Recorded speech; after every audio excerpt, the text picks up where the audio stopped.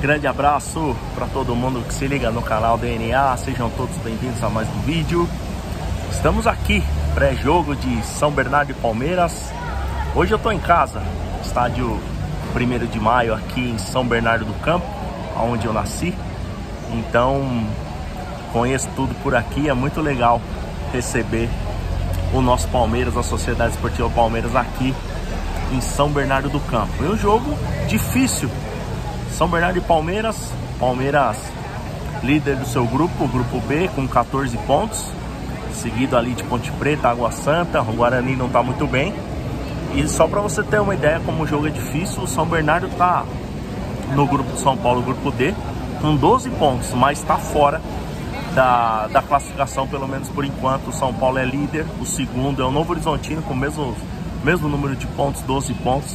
E logo abaixo o São Bernardo com 12 pontos. E São Bernardo faz uma boa campanha. O Zanardi foi aí especulado né, para ser o técnico do Corinthians, mas por conta do regulamento não deu certo, então o Corinthians fechou com o Antônio Oliveira. Mas o Zanardi já vem fazendo um trabalho interessantíssimo aí no campeonato paulista diante do, do São Bernardo. O ano passado o Palmeiras eliminou o São Bernardo com muita dificuldade, né? No mata-mata. Mas é isso. Hoje, dando sequência à oitava rodada do Campeonato Paulista, sete e meia da noite. São Bernardo e Palmeiras, aqui ó, já estamos por aqui, estádio 1 de maio, aqui no centro da minha cidade, São Bernardo do Campo. Bom, o, o Zanardi é, gosta desse esquema 3-4-3, né? Eu vou deixar aqui, ó, a provável escalação do Bernot para essa, essa partida. Ele gosta de jogar ali com três zagueiros, é, quatro ali no meio campo e, e três atacantes também. Então é um time sim ofensivo. Ganhou do Corinthians aqui por 1 a 0 com o gol do Silvinho, com um jogador a menos. Então a campanha é sim uma campanha interessante do São Bernardo. E o Palmeiras nesse tour no ABC Paulista, né? Na segunda-feira, um empate amargo diante do Santo André, né? Fez o gol ali no, no segundo tempo com o Flaco Lopes e no, na última bola praticamente do jogo, o Palmeiras cedeu o um empate com o gol do Lohan.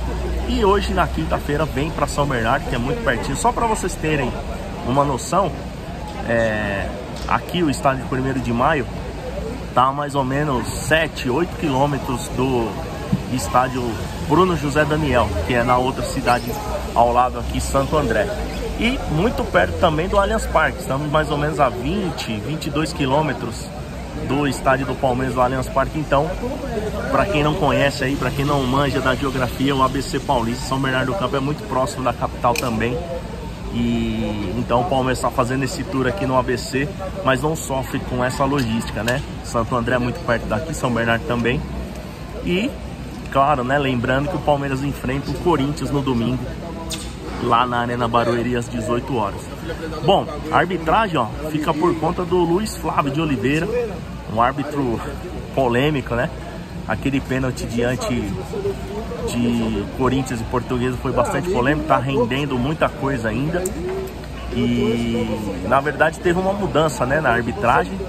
Sinceramente não, não sei qual que vai ser a arbitragem pro domingo no, no derby mas era um, um outro árbitro que teve algum problema e o Luiz Flávio vem para esse jogo de hoje. Um jogo difícil, mais uma vez eu repito, mas já estamos aqui nos bastidores de São Bernardo e Palmeiras, o Bernô enfrenta o Verdão. Muita chuva aqui, o tempo ruim. E então, devagarinho a galera tá chegando aí, ó. Um panorama aqui dos arredores. Então, com certeza Aqui em São Bernardo tem muitos palmeirenses e com certeza vai ter muita gente torcendo aí pro Palmeiras e claro, muitos amigos torcendo pro São Bernardo, principalmente quem não é palmeirense aqui da cidade, aqui em São Bernardo do Campo. Beleza? Então, ó, peço para que vocês se inscrevam em nosso canal, deixe o seu like, ative as notificações para você não perder nenhum conteúdo.